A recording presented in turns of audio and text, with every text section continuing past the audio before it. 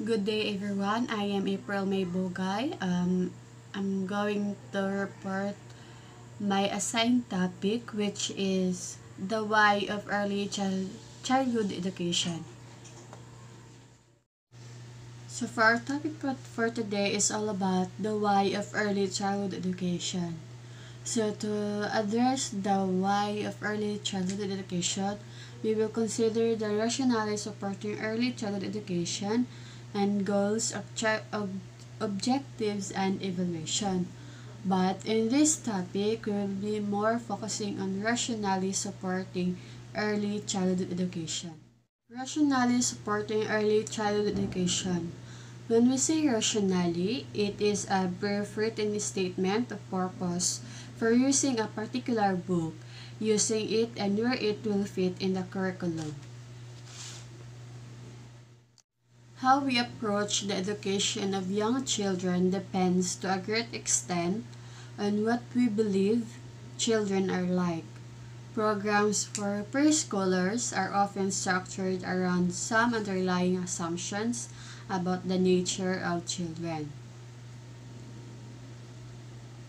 For instance, a belief that children learn actively by exploring their environment will result in a different type of early education program than one based on the idea that children learn passively by being taught specific information and skills. So in this chapter, we will examine the foundations and rationale on which early childhood education has been built. A look back, children through time. Interest in the care and education of young children goes back thousands of years. So in our, in our Western tradition is traced to ancient Greece, where the writings of philosophers such as Plato and Aristotle reflect a keen sensitivity to the needs of children and the importance to appropriate education in shaping their character. The Greeks saw human development as a, as a transformation from the imperfect state of childhood to the ideal of adulthood. Greek Tradition, including education for girls as well as boys, was carried on for several hundred of years into the height of Roman times. So many of the early enlightened ideas about children were lost.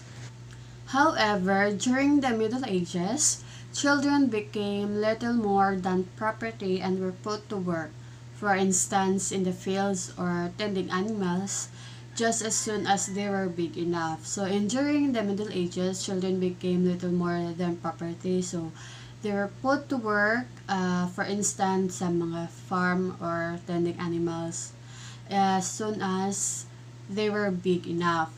So schools and formal education have virtually disappeared in Europe except in a few places, particularly in Islamic Spain, where learning was highly valued.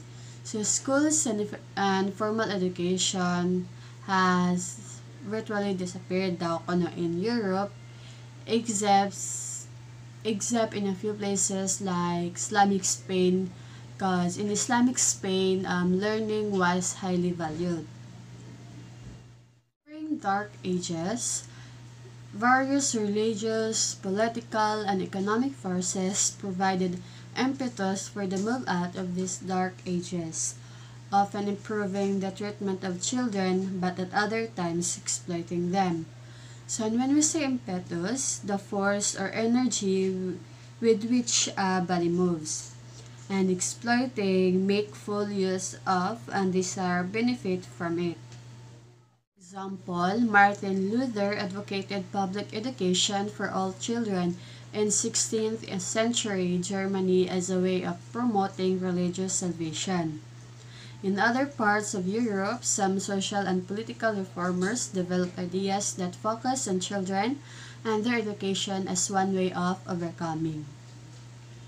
So in the 18th century, as the industrial revolution swept both Europe and America, the economic search for cheap labor led to the abuse of many children in factories. Such blatant exploitation also led to reforms, eventually including universal public education and laws prohibiting child labor. So in the 18th century kuno is ang mga bata ko na dito is abuse many children abuse in the, in the factories. So when we say blatant, it is a vulgar or offensive manner to many children. The 20th century represents an active time in the formation of early childhood education.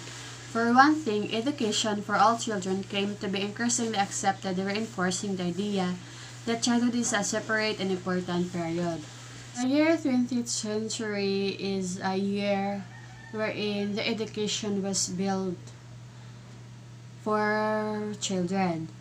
So one thing, education for all children are highly accepted and it is also considered to be um,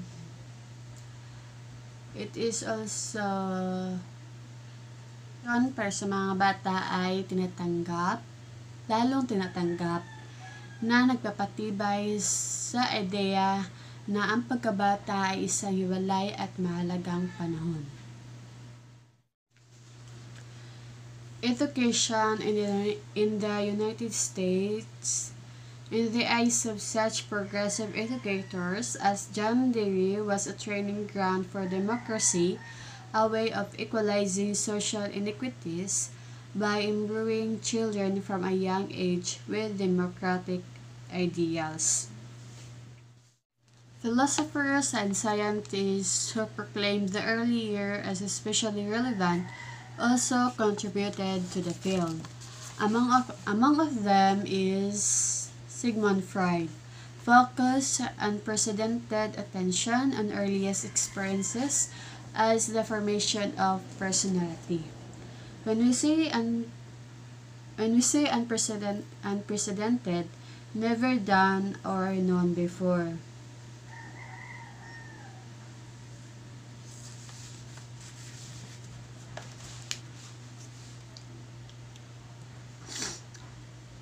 A third strand was the development of scientific methods of observation that led to the child study movement, of which grew many university pre-schools laboratory programs designed to facilitate the, the careful study of young children. So, child study movement occurred earliest in the 20th century in the United States when many universities pre-schools were established to develop scientific methods for studying children. Another contribution to today's field is the notion of early childhood education as a means to social reform. So Notion is a scheduled task, manage files, save documents, set reminders, keep agendas, organize their work, so Notion allows writing and pasting equations in the form of blocks or in line.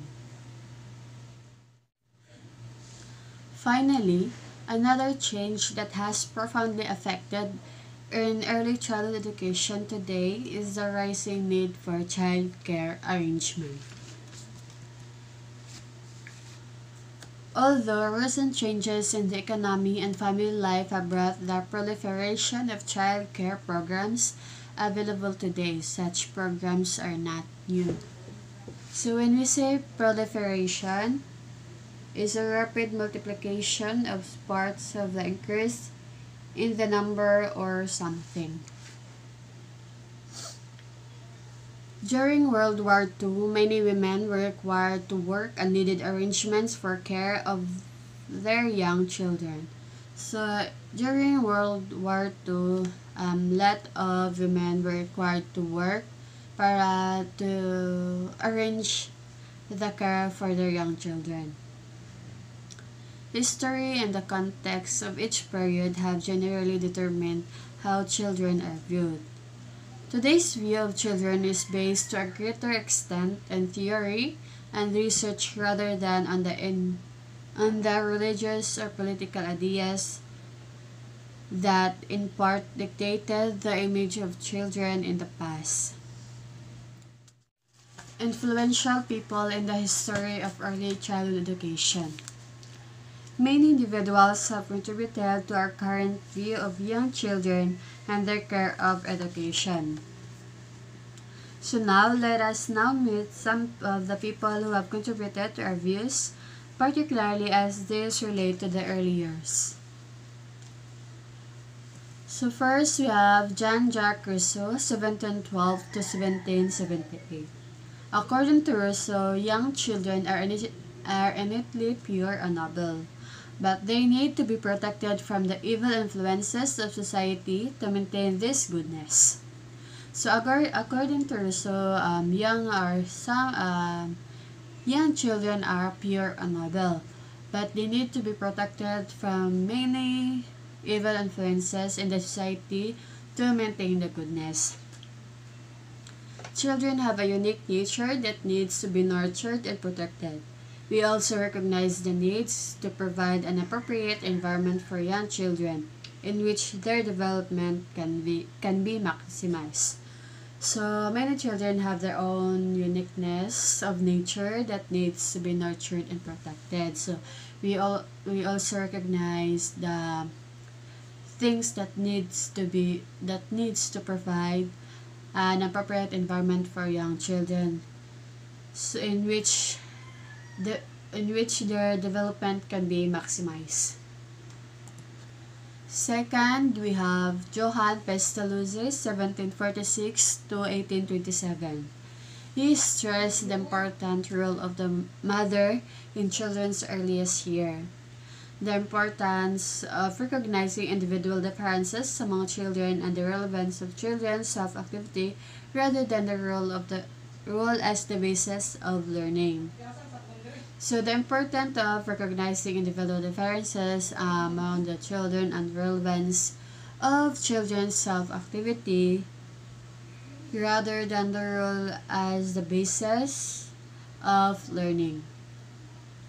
First, to actually teach young children of preschool age, making the beginning of the kindergarten movement.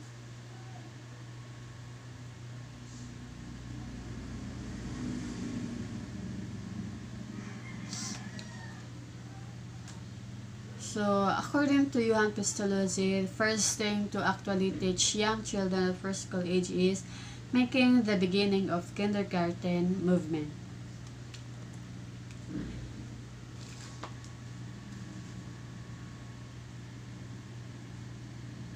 So next we have Friedrich Froebel, 1782 to 1852.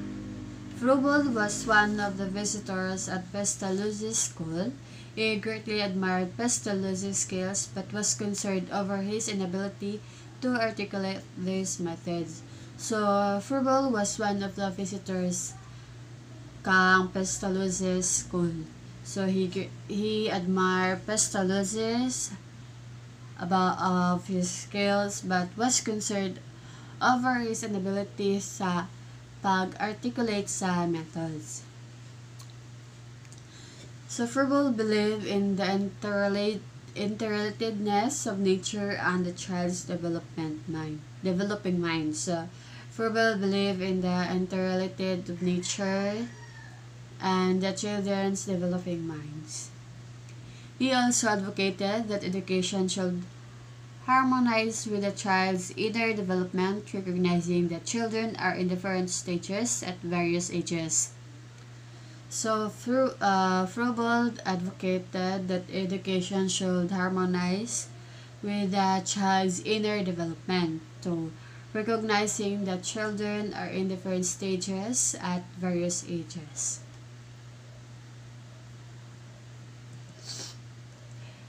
Stress the important role of play in young children's development, not merely as a preparation for adult work. So, Froebel stressed the important role of playing in young children's development, but not merely as a preparation for adult work.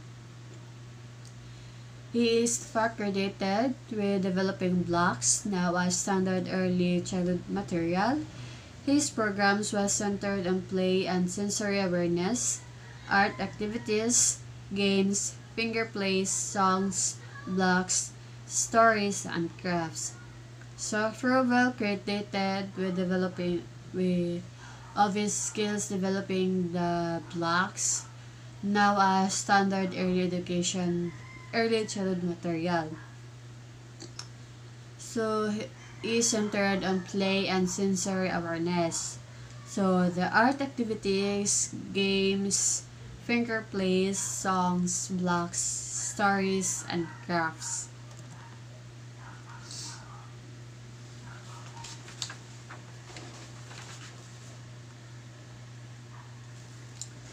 So next we have Maria Montessori, 1870 to 1952 was the first woman to become a medical doctor in Italy.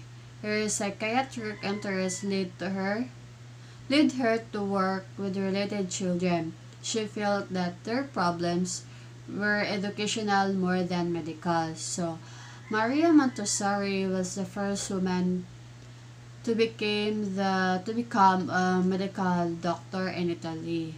So, her psychiatric and uh, his so her psychiatric interest led her to work with related children because she felt that the needs of children is uh, the problem of children is more on educational than medical. Casa di Bambini or what or children's house, the opportunity to explore her teaching method with normal education. So, Casa di Bambini is a children's house. The opportunity of many children to explore her teaching method to normal children. She was particularly impressed with the great capacity of children to learn so much during the first few years of life. So Maria Montessori was impressed with the great capacity of children to learn so much during the first few years of life. So Maria Montessori, she called this capacity the absorbent mind analogs to a sponge soaking up liquid. So Maria Montessori's term to describe the capacity of young children to learn a great deal during early years. Sensitivity period times when children are most receptive to observing specific learning. So sensitive periods, Maria Montessori terms describing the times when children are most receptive to observing specific specific learning. Prefer, prepared environment to describe this much of the right materials to children's stages of development. Sensory discrimination, matching and sorting by size, shape, sound, color, smell, or other dimensions. Children learn practical, practical skills such as polishing shoes or sitting in table. So, um, children learn practical skills on how to polish shoes or on how to setting the table in table. Advanced materials were aimed at teaching reading in aimed at teaching reading, writing, and math skills through hands-on manipulation. So the advanced materials were aimed at teaching like reading, writing, and math skills through a hands-on manipulation. Particularly, her self-correcting materials and strong sense of respect for children have had an enduring impact on early childhood education.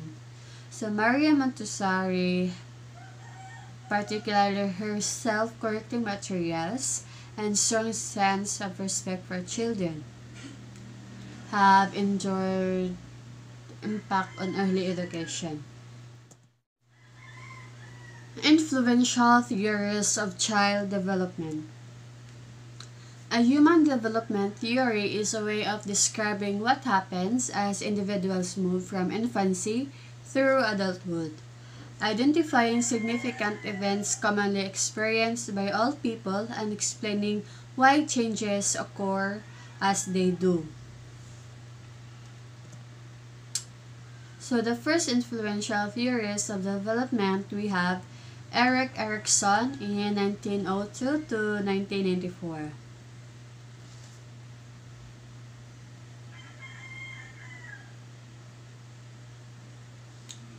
So Erik Erikson beginning his career in the early decades of this century in in Central Europe. So the beginning of career uh, the beginning career of Erik Erikson was er in early decades and the century in Central Europe. Erikson refined aspects of Freud's theory into his psychosocial theory. So yes, Erik, So yes, Erik Erikson is a psy is a psychosocial theory. Has a psychosocial theory. So each stages of development is defined by a conflict, which leads to opportunities for personal growth. So these conflicts, in addition to so, so centering on the persons alone, also revolve around relationship with others. Erikson's was the first theory that spanned both childhood and adulthood through what they considered eight universal stages. So the first four are particularly important because they describe significant tasks that occur in the life of the infant and young child. So we will so we will focus on those four in more detail. So first stage we have trust versus mistrust. So age is from birth to 18 months. Conflict, trust versus mistrust. Relationship, relationship, mother, strength, hopes, Question, can I trust the world? Kay event feeding. So in trust versus mistrust, the, the basic theme of infancy is the development of trust. This comes about when children's needs for food, warmth, sleep, and nurturing are met consistently and predictably. This stage involves around the importance of feeding. Although Erikson incorporates all aspects of the baby's existence, including sleep and elimination. In this foundation, the helpless infant must rely on the caregiver to provide satisfaction of needs. When children are not cared for adequately, they develop a sense of mistrust in others and in themselves. And they move to future stages by seeing the world as threatening, unpredictable, and hostile.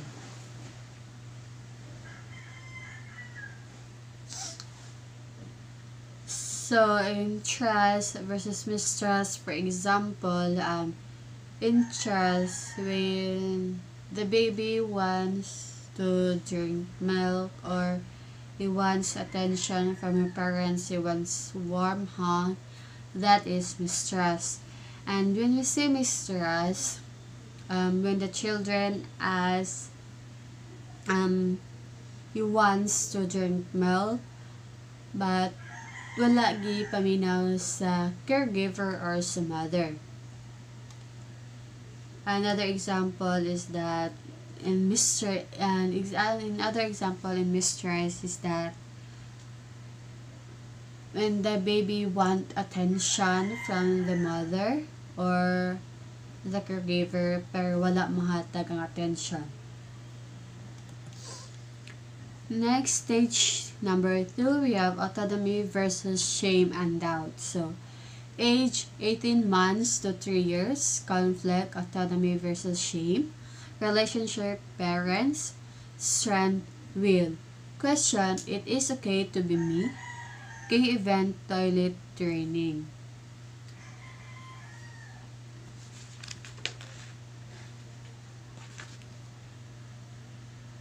So, toddlers begin to assert their growing motor, language, and cognitive abilities by trying to become more independent. So the second, the second stage of development described by Erik Erikson occurring during the second year of life in which toddlers assert their growing motor language and cognitive abilities by trying to become more independent. So, in the autonomy versus shame and doubt, it is the stage where this is the it stage where a, for example, we might observe a budding sense of autonomy in a two-year two-year-old child who wants to cho choose her clothes and dress herself. Stage 3, we have initiative versus guilt, age 3 years to 6 years. Conflict, initiative versus guilt. Relationship, family. Strength, purpose. The question is, is it okay for me to do, move, or uh, and act? Okay, event independence.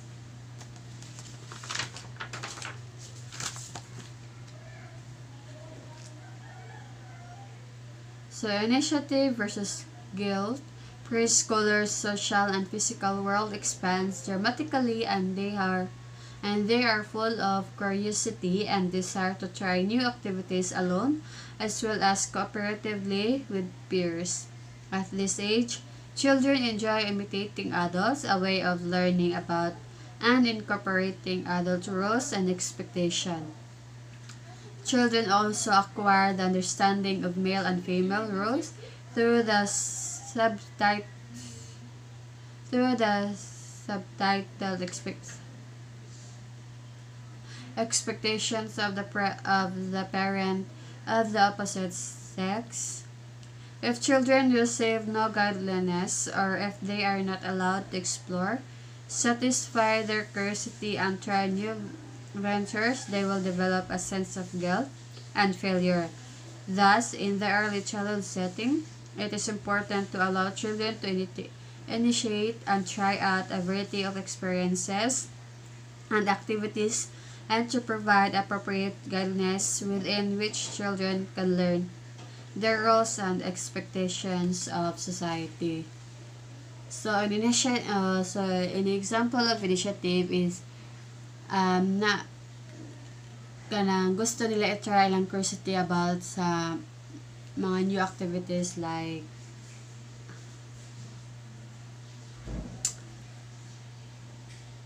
basta ang initiative is katong gusto nila ma-try um, ma-experience ang mga new activities or mga curiosity nga nas lang mind and then ang sa guilt ma, ma ang guilt is wherein ang ilang curiosity and ilang kan sa ang ilang curiosity is dili nila ma-experience. Next stage, we have industry versus inferiority. Age, 6 years to 12 years. Conflict, industry versus inferiority. Relationship, neighbors, schools. Strength, competence, question. Can I make it in the world of people and things? K event, school. So, industry versus inferiority. By the end of the first school years, children begin to focus on the development of competence. They like to plan, carry out, and complete projects unlike younger preschoolers who are more concerned with the exploratory process of their activities. This period is particularly important in the development of habits of workmanship, persistence, greater understanding of social rules, and citizenship. Children who do not develop an adequate sense of industry will settle for mediocre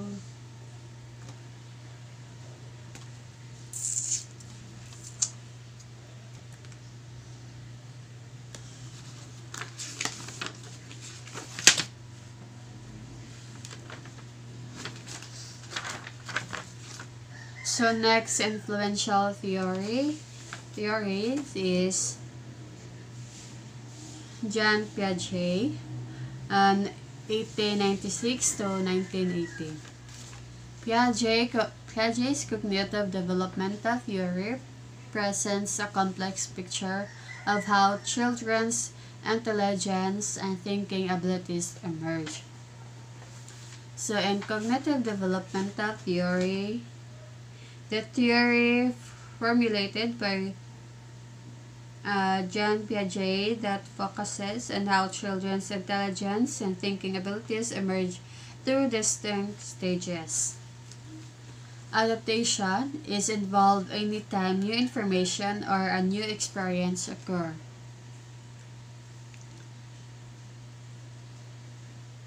Adaptation is a process that occur anytime new information or a new experience occurs. So adaptation is involved anytime new um, information or a new experience.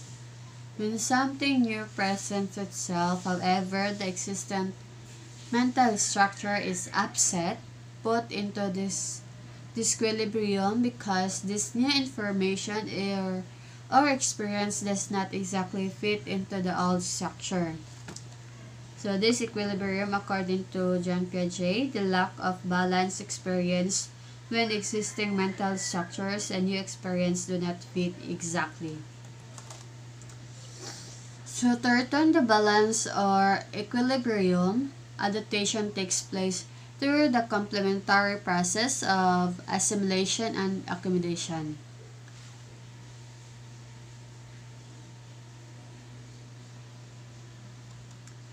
So equilibrium, the state of balance each person seeks between seek between existing mental structures and new experiences. So assimilation occurs when the person tries to make the new information or experience fit into an existing concept of or schema.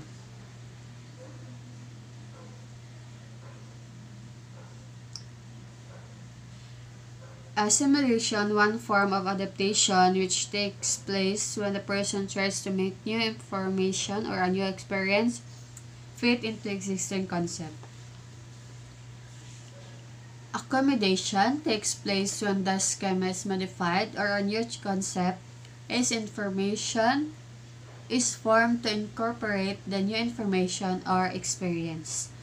Accommodation, which takes place when an existing concept is modified or a new concept is formed to incorporate new information or a new experience.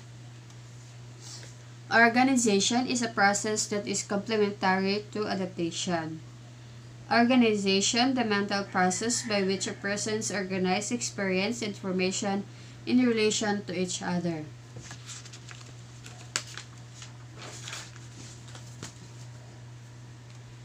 Schemata are concepts or mental representations of experience.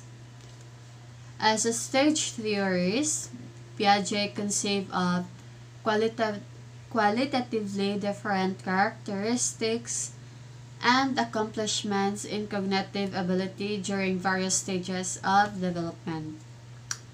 By the age 2, however, a distinctly new ability emerged the ability for mental representation of objects, even though they are not present in the immediate environment.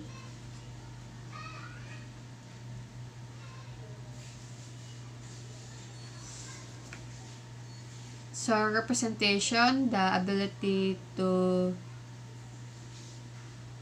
depict an object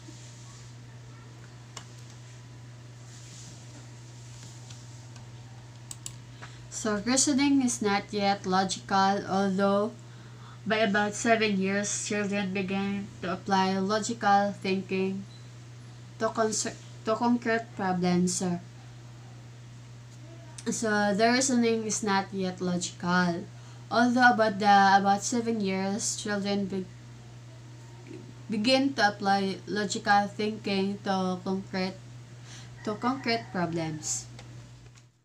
Finally, by adolescence, The young person may be able to apply logic and abstract thinking to a wide range of problems. So in adolescence, the young person can able to apply logic and abstract thinking to wide range of problems.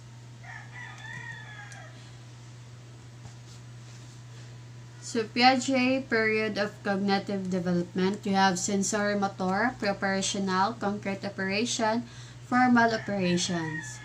So in sensory motor, age 0 to 2 years, the infant explores the world through a direct sensory and motor con contact. Object permanence and separation anxiety develop during this stage. So the infant, the infant can explore the world through the direct sensory and motor contact. So pre-operational age 2 to 7 years, the child uses symbols such words and images to represent objects but does not reason logically. The child also has the ability to pretend during during this stage the child is centric egocentric so in pre-operational children use symbols and like words and images to represent objects but does not the reason to be logically the child also has the ability to pretend. So in concrete operations, age 7 to 11 years, the child can think can think logically about concrete objects and can thus add and subtract. The child also understands conversation. So in concrete operations, the child can think logically about the concrete objects and can also add and subtract. And also child and also child can understand the conversation with can the conversation so formal operations age 11 to 15 years the adolescents can reason abstractly and think in hypothetical terms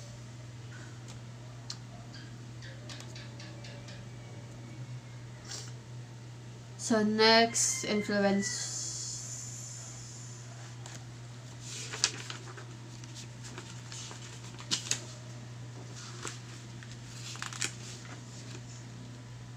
So next influential theorist, we have B.F. Skinner.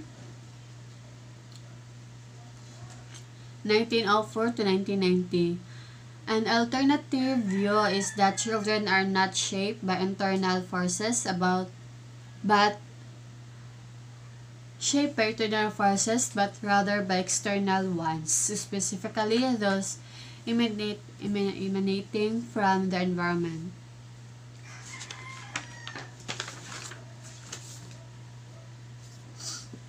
So, behaviorism is based on this viewpoint.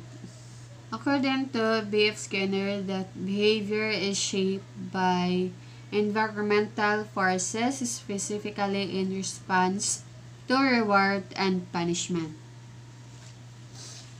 Behavior modification, which operates on the underlying principle that behavior can be changed or modified by manipulating the environment. Behavior modification, the systematic application of principles of reinforcement to modify behavior. Skinner emphasized that almost all behavior is learned through experiences. So according to B.F. Skinner, um, Skinner emphasized that almost all the behavior is learned through the experiences.